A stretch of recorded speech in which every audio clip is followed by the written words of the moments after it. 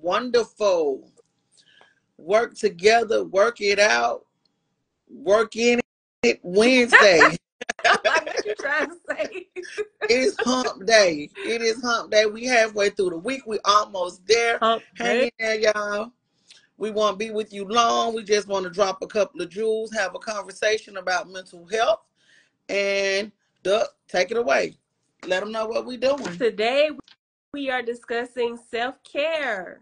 Self-care and and yeah, self-care, self-worth, knowing it, the eight pillars of it, and let's go get we're gonna get into it and discuss it. See between the two of us who has better self-care. I think it's me, but we'll see. Cause I'm gonna take care of me. You don't gotta worry about that.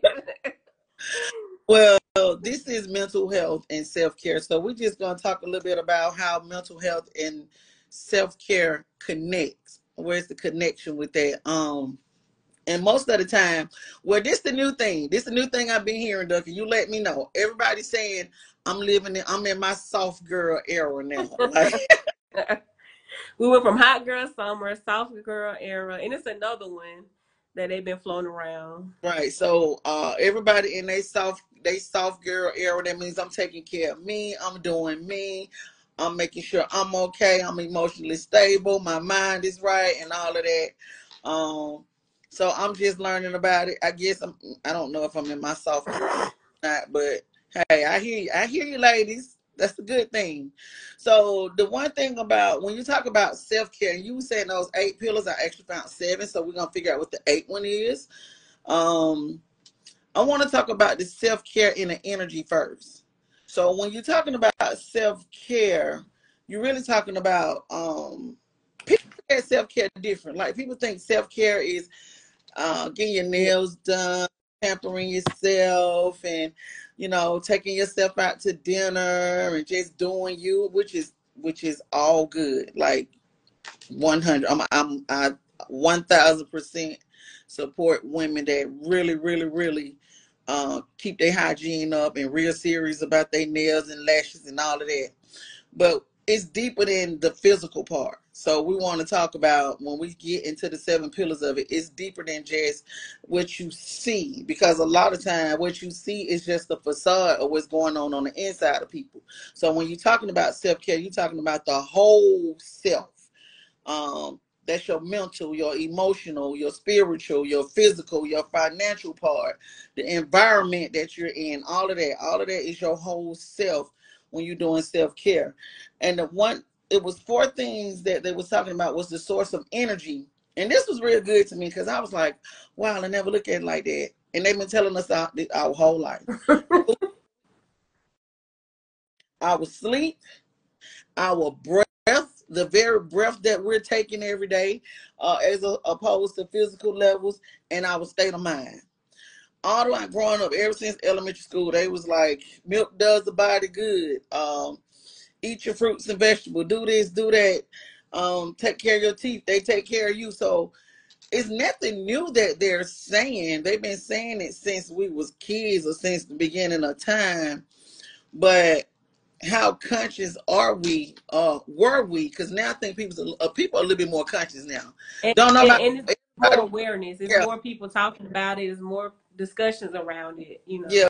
But um, growing up, it wasn't a big not. Well, in my era, it wasn't a lot about um vegetables and being vegan and pescatarian and and a vegetarian and all that. It was like, honey, it's time to eat. I need you to eat so you can take your bath, get ready, go to bed, go to school tomorrow. It wasn't like all of that. And for the most part, it was um good food. Mm, I can't remember having a bad meal.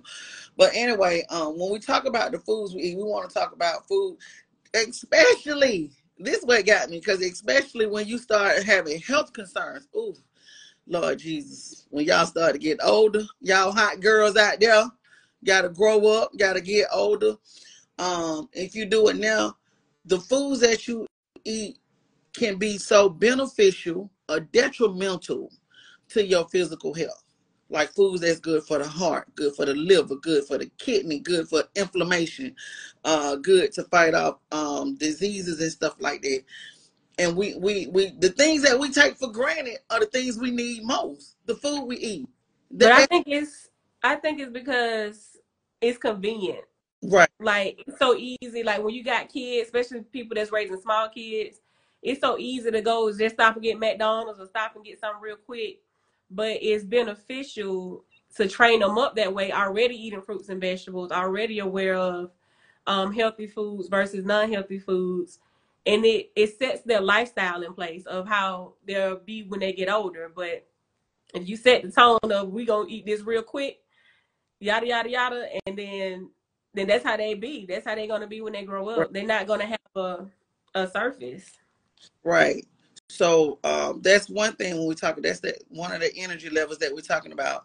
Uh, the type of foods that we eat. The other thing is the breathing part. Like grown people used to always tell children, go somewhere and sit down. Just go sit down somewhere. Take a breath.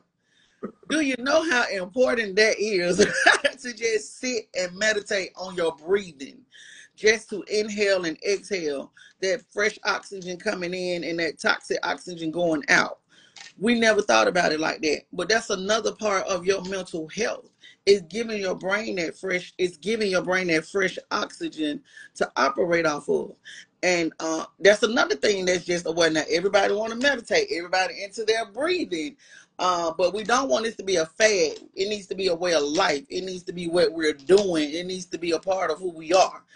To sit down and just take a minute and say, hey, I'm just gonna take a minute and I'm gonna breathe. Like seriously, meditate, get you some time and just start breathing.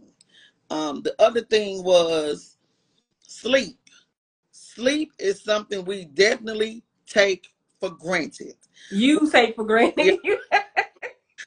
I'm getting my eight. I'm getting uh, operating off three, four hours of sleep.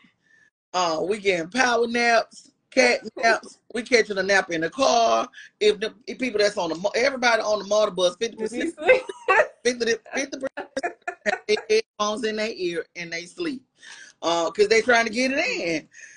But sleep is a very important part of your self care. Like doctors are telling people now, like you need to get some sleep. The Like not two hours here and two hours here. You need to get a full eight hour whole bodily rest sleep. So you'll be ready for the next day. That's another part of self care that we take for granted. So we You need definitely your food when sleeping help with so much. Your food needs to digest. You need to re-energize. It's so many benefits of sleeping, but we live in such a high paced society. People don't got time to yeah. sleep. I can be making money. Well, I don't got time to be sleep. I can be making money. I mean they I'm like, you gonna be making no money. You pass out. right. like, you I sleep I was like, huh? Uh, uh, uh. Very true. But before you go, you need to make sure you- re-energize yourself. right, right. And the other part was our state of mind. Like our mind can be mad monkey sometimes. Like we have so much on our minds, our jobs, our houses, our spouse, our children, our relationships, whether it's relationship with friends, with, with your significant other, your relationship with your children, your relationship with your coworkers, uh, anybody you connected to, your state of mind has to be at a point that you're at peace, you know, and not chunks of peace like, okay, I got peace here, but I don't have peace here. That's when you got to start building those boundaries in that emotional vocabulary. Because if you want you want peace, you want it. You can demand peace in your house, like where you live, where you pay your bills at. Hey, we ain't arguing in here. You're not gonna raise your voice in here. You're not tearing up my house. We're not gonna do that. This is gonna be a peaceful place. When you hit that door, when you walk outside your door and step into the world, it ain't your call. You know, that's not your shot. You you don't control that. You can't control that. But you can choose how you deal with that when you come into those confrontations, when you come into those situations that arouse you and want to make you angry and and and, and it live it take up so much headspace because people that hold grudges and people that can't kind of release things, that stuff is taking up space in your mental head. Like literally, it's always on your brain. It's always right there's something to trigger it to make it go to just make you snap and go off on the wrong person for the simplest reason. So you got to take care of your state of mind. You got to always try to make sure if it aggravates you, if it irritates you, if it frustrates you, if it hurts you, Like if somebody hurt you, it's okay to let them know that they hurt you. If they made you angry, it's okay to say, "Hey, you know what? I really don't want to talk to you right now because you just you just made me mad. So I'm gonna walk away and I'm gonna let you have that, and be okay with walking away. Yeah. Hey, you you hurt my feelings. That that really hurt. I want you to know that you hurt me, and I don't like the way it made me feel. So I don't know. I may talk to you in a couple of days, or I may not. But people are know where you stand. You got to have an emotional vocabulary to tell people how you feel, and you got to set those boundaries, not to let people all up in your space. So that's another part of just taking care of your whole self. You want to add anything? Or are we gonna jump into the um? Well, I do want to say before we move forward, your family, your friends, people, they know your triggers. So you got to know when they're trying to pull one of your triggers, and you got to know how to respond without going off the Right. deep end. Right. Because you got to know those people that's trying to trigger you and trying to set you back and trying to make you want to argue and fight, and um and just be aware of that. So Right. To help you with your mental. Like when people, when you're faced with a challenge, especially your family, like people, like you said, people outside of you, like when you walk outside, people that don't know you, they don't know what's going to cause you to go Right. wrong. So, but people who you can kind of control, like people that can, they know your boundaries, and people can know your tr- triggers. So I, I have a lot of boundaries, and I think y'all, my family, have done a great job with helping with keeping my boundaries in place. Besides my little nieces, they the only ones that kind of don't listen to my boundaries, but everybody else they kind of get it. Like I need space, I need time, I need to be by myself. Right. But yeah, I don't have many triggers, but people like they know people that know your triggers know when they know, so they won't try to tick you off. Yeah, they know exactly what's what gonna make you mad. to say and do. Now I was. I, this is a quick story.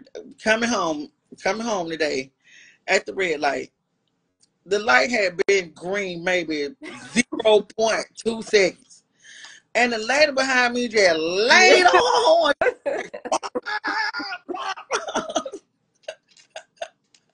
So I looked up in the mirror and I just said, "You're okay. You're gonna be okay." I said, "It's okay, cause you can't be that upset with me to blow your horn at me because the light just turned green. Like, why are you so angry with me because the light turned green? yeah, You okay? Breathe." I told. I looked. I said, "Sis, just breathe. because I mean, where you going? That fa- like oh, to the yeah." next light. It's like, and then I'm like, I don't know why people have got all this sudden road rage, and I think people just angry and in a rush. People not stopping to breathe. People not stopping to meditate. People not stopping to take care of themselves. We got to start taking care of ourselves. We really have to start taking care of our mental health. Um, Yeah. Because you don't know the state of mind of the other person. Like I told you, that it was a killing over there, road rage killing over there on the north side. Um, going into the QuikTrip, two people they got upset and got out and one shot one, and they both were injured. I don't know if the if they both shot at each other, but I'm like, that's so senseless. Like, why? What's the point? Yes, yes. Um, but when also when we're talking about self care, we're talking about those pillows, those, pillars of self care.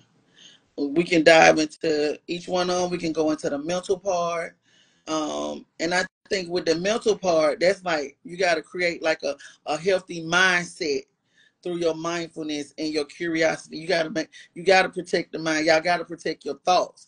You got to um you know, think outside the box. Don't be such shallow thinkers. People think that everybody's out to get them. People think that they got uh, to prove something to everybody. They feel like if I don't do this, then they don't accept me. You don't. You're not saying this, but that's the energy that you have. Um, and you got to be intentional about what goes into your mind. This even going on to the TV, to what you're watching and listening to on TV and in music. Now the movie Deliverance came out and I've got so many mixed views about it. I haven't personally, I have not watched it yet. Um, but I have I'm gonna say this, man. We can move on. Somebody made. I haven't seen it either. I don't watch a lot of Netflix movies, but somebody said, um, because I know the Christians were in an uproar because of the, I don't need. I already been. I don't gotta need to be set free from all. I, you know, they didn't want to deal with the demonic side of it. right, right, Somebody said it's really no more demonic than you laying next to that that married man. That- but I think it has a story. I don't think it's just about the demons. I mean, we can't be as Christian, we can't be so punkish that we can't handle that. Like we're supposed to be able to fight whatever battle, whatever war that got, whatever is going on around us. But some people just not sh- strong enough to deal with. Like me, I've fought demons. I'm like, I'm not. I don't really want to open all that. But I will probably watch the movie because I know it's more than just that. I think it was about a social worker or a child or something like that. I don't know, but I think it's it's not as deep as they trying to make it. Well, they they making it real deep around me, and I was like, oh, okay. They was like, it's a black ecstasy and all of that. Um, but I said we got to see it. Yeah. some people was, but some people were saying I couldn't sleep after that. Like it really bothered me. They was like the movie really bothered their mental space. yeah. Like I wish I hadn't watched it. Like I wish I hadn't watched it. And when um the young the young lady, when the police officers killed that lady, and everybody was passing the video around, I said no, I don't want to see that. I don't Oh, when the, the white police officers. yeah. I said, I don't want that visual in my head. I can't take that. You know, that's not going to be good for me. So, no, I don't want to watch it. I won't watch it. I'm very cautious of what I see or what's before me. Now, if it sneak up on me and I get a glimpse of it, then I got to deal with it. Um, but what I'm listening to, things that are going into my mental state, you got to be careful about that. You got to Yeah. be careful about how you set your mindset. That's how you take care of your mental health, your mental, your mental health. What people are saying to you, like I said, when people say things that get to you, you need to express that. You need to let it know. Make sure you you in a peaceful place. Make sure you can do it with poise, and you can do it out of love or out of at least integrity. Um, so it won't be so confrontational. Not that you're a punk, but you got your under control. Can't be like that man. Somebody, when Michelle Obama said, "When they go low," he said, "I go lower." Like you gotta, you gotta. Eric Mays, I mean, rest in peace to Eric Mays. He said, "When they go low, I go lower." But we Right. gotta go take the high road. high road. We got to take the high road. Remember our mental health and our faith that we discussed last time. We got to take the high road, people. We got to take the high road. Um, if you want to add to that, we can move on to emotional. um, for mental, just mindfulness, self talk, and if you can afford a therapist, see a therapist. Take care of your mental health, your mental state, um, if you can. Right. I mean, that's probably one of the most important. Like for you being your right, for you to be in your right frame of mind. Take care of your mental. And- People gotta, they gotta take you a break from social media. yeah. You gotta take I your break from have- social. it on my phone. I don't have no social. My iPad is home. I get on when I come home. When I'm out throughout the day, I don't have no social media on my phone. So if you're trying to call me on Facebook, you won't get me because I don't have it on my phone. You got to take a break. You got to take an intentional break from that. I know people fast and stuff from it, from it during the day. You fast, make it a regular fast. Like, hey, at least two or three days out of the week, I'm just gonna take a break from social media. It ain't nothing on social media that important that I won't hear by word of mouth. Cause trust me, if it's something that you need to know or something that's real hot out there, somebody already know about it. They're gonna be talking about it. somewhere. But give yourself a break break from all of that, all them lies and stuff people telling, living fake lives and stuff, and trying to influence you. Take yourself a break from that. Take you deserve it. Take your break from that, and and meditate Yeah. to get your mind stronger. To meditate on the word of God. Meditate talking to the Lord. Meditating, uh, getting some of those thoughts out of your brain. And they say when you meditate, every question that pop up, you need to address it. Answer whatever questions you have, because 50 million things be in my brain when I try to meditate. And at first, I couldn't do it. My brain wouldn't allow me to do it. It was so much on my mind, I couldn't do it. So I had to keep trying and keep trying until I got. Uh, and I still ain't. I'm, I'm still working on the breathing part.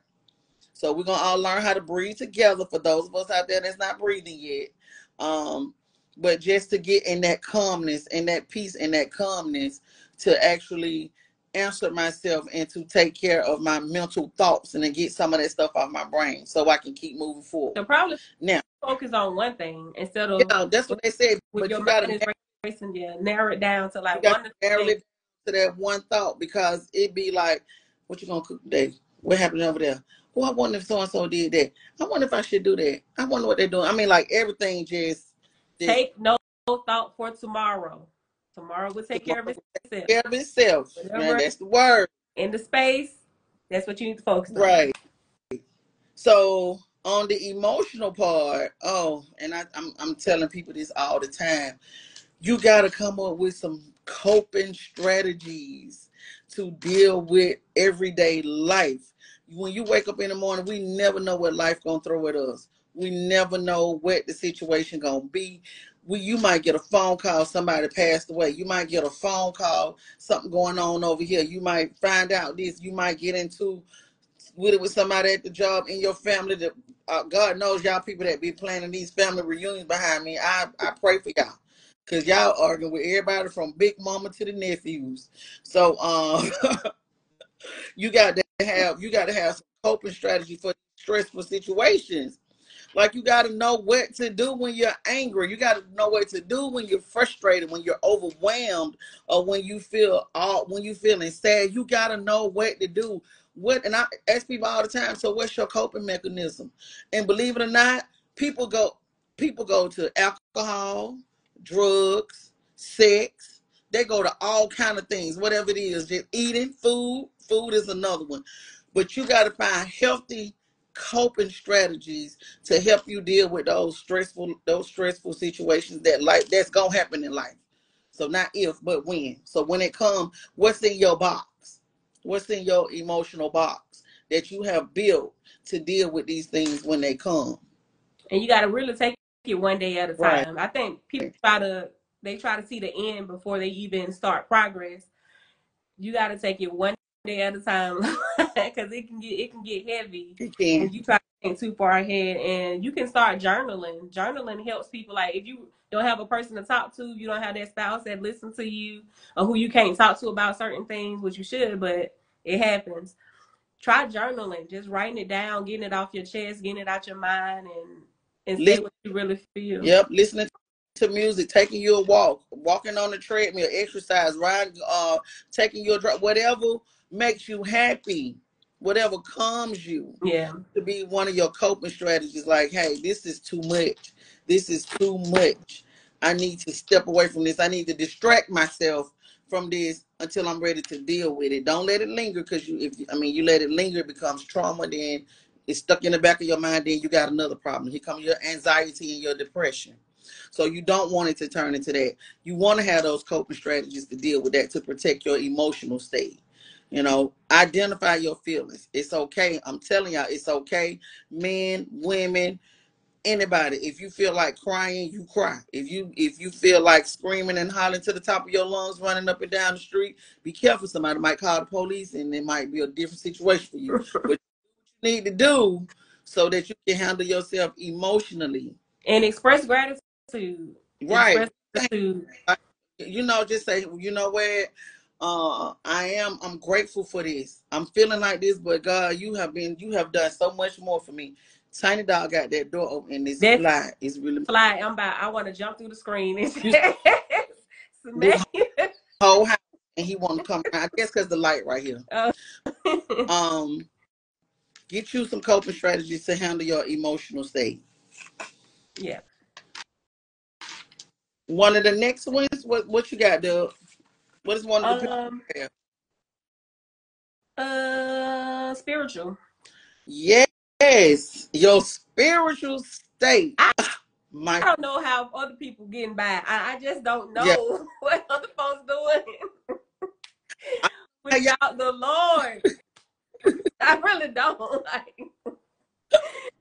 Cause that's, I mean, that's my piece right there. Like, honest to God, I'm not just trying to be over spiritual. Like, that is my piece. right. Having a spiritual connection. Like, And that comes with building that relationship with God. That Mhm. comes with having life experiences and trusting God. mhm. You know, having those things like when you sharing your life story or you sharing your testimony and you start saying, I, go back to, I'm telling you what I know and what I experienced. You know, I can tell you what the preacher said all day. We can read the Bible all day, but I'm gonna tell you from my standpoint what God has done for yeah. me. How he opened his door for me when I, I ain't seen no way, don't know. If won't he do it, it's such an underphrase because well, you be like, whoa. It's like, wow. God, I know this couldn't have been nobody but you because ain't no way this came out like this. It comes out of nowhere. It comes out of nothing. It comes when you least expect it. Um, and building that faith, you got to make deposits. You know, I don't know if everybody believe in God or, or Jesus Christ. You you know, I strongly encourage you, but do what you do, boo. As a Christian, I'm not gonna judge you. But as for me, everybody and, believe in something. Everybody believe in something. Even even the atheists believe that there is no God. Everybody believe in something. I just don't know how they getting right. by. I just don't. Right. because I can say he ain't let me down yet. Yeah. He I, am not disappointed yet. I'm I, st- I stand on it. I'm yeah. I'm standing on it. You know, that's it. I'm rocking with Christ, and that's it. I don't, I don't have nothing else to say. That's just me. I'm there. Um, but um, Reverend Ernest made a good point on Sunday. He said, um, we always say that we waiting on God, waiting on God. And he said, God been waiting on us for over 20, 30 years for you to get it together and you keep leaving and coming back and doing this and doing that and won't fully give yourself your life to Christ. I said that's a good point because like he be waiting on us for the longest, right. and you can wait a little while on God. Right, so. right. When you wait God, your prayers, He been waiting on you your entire life.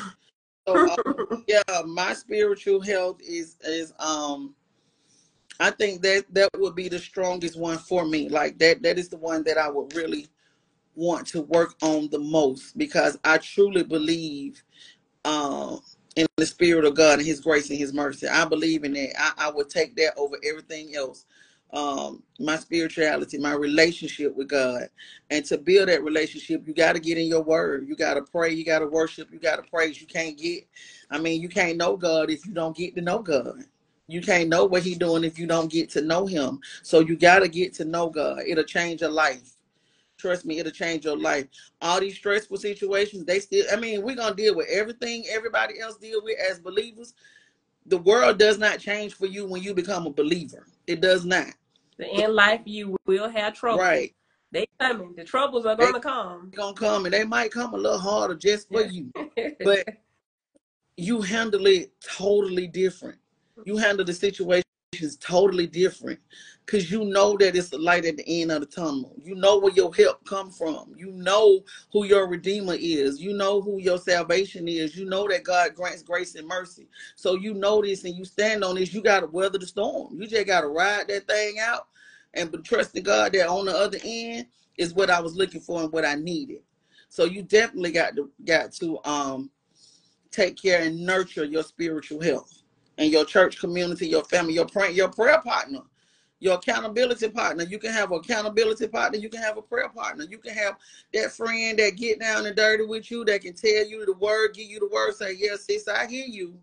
Uh, and you sound like, you know, you wavering a little bit. Let's go back to the word. Somebody to bring you back. Somebody to, to kind of grab your shirt tail say, hey, hey, that's not who you are. You're fearfully and wonderfully made. You know, you know who you created. You created in royalness. You're a royal priesthood. Somebody that can snap you back into to, to your beliefs and your faith.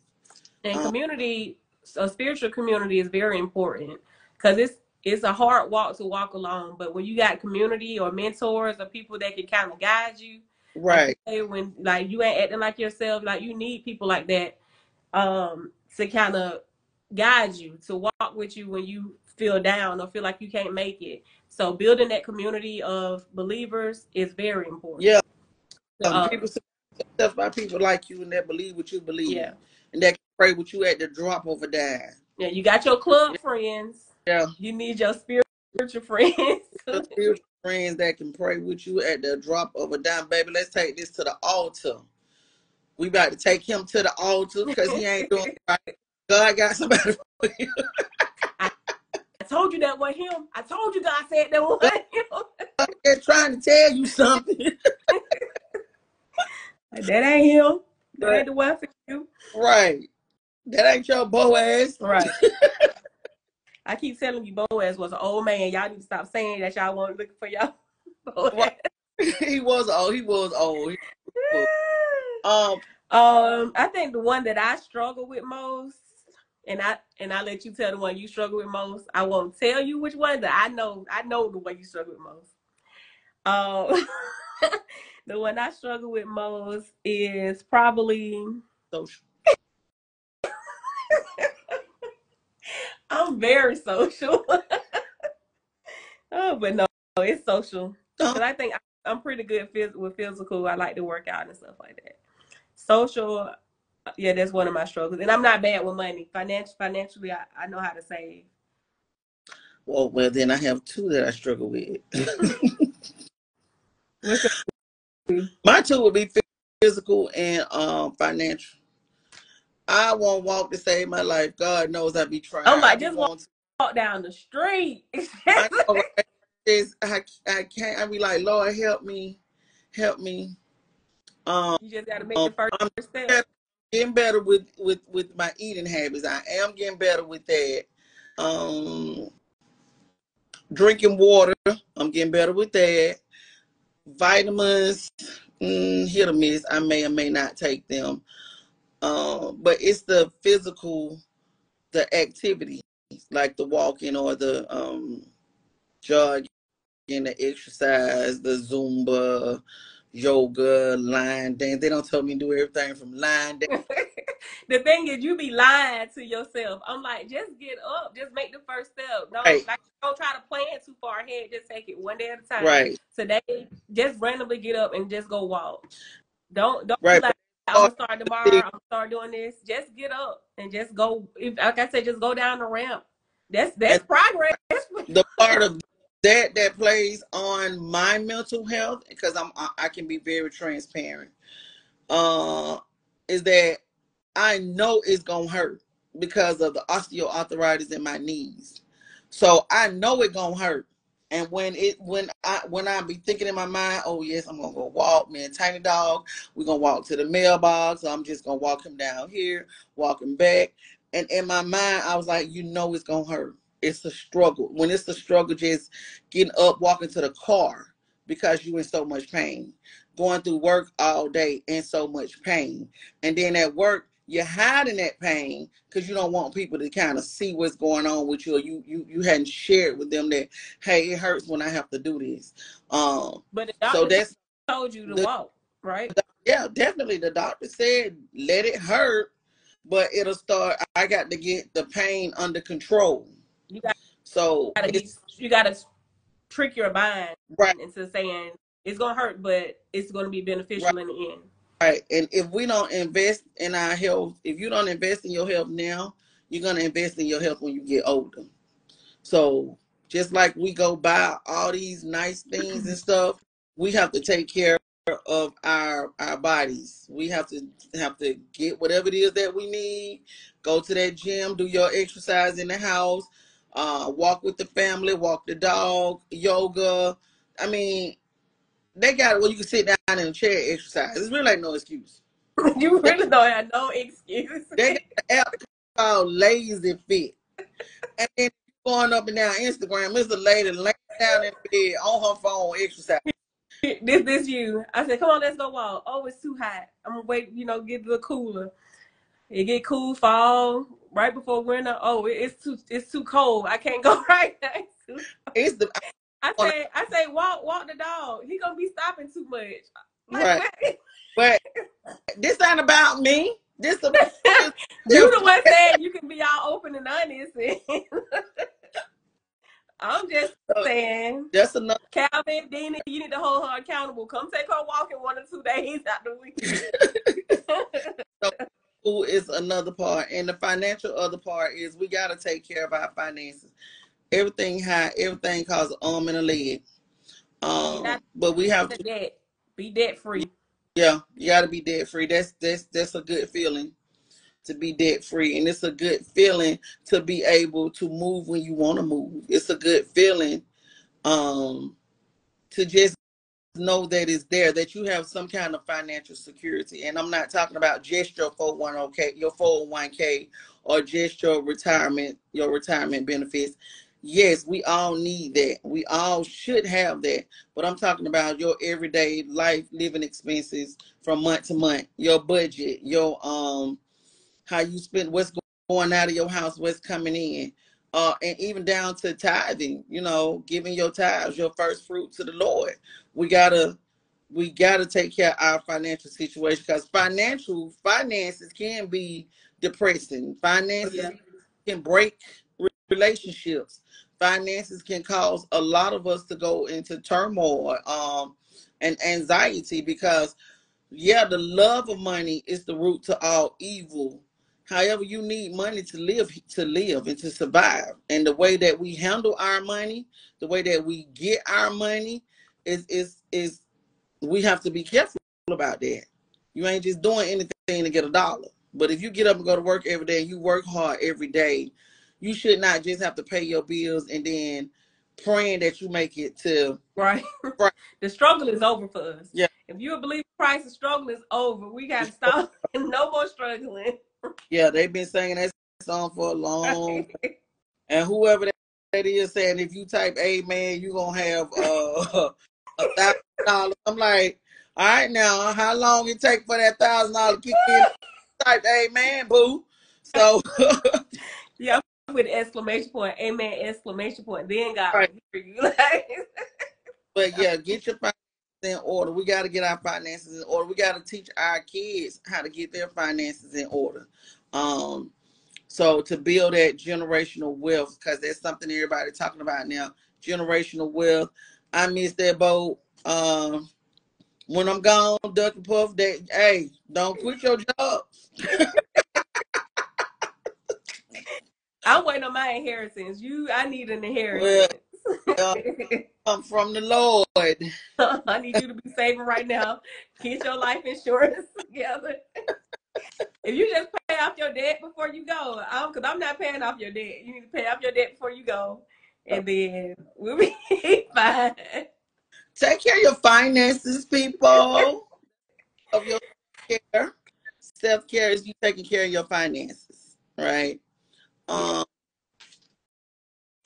It's time to go. Oh, it is. Oh, this has been awesome. We've been talking all for a whole 43 Right. minutes.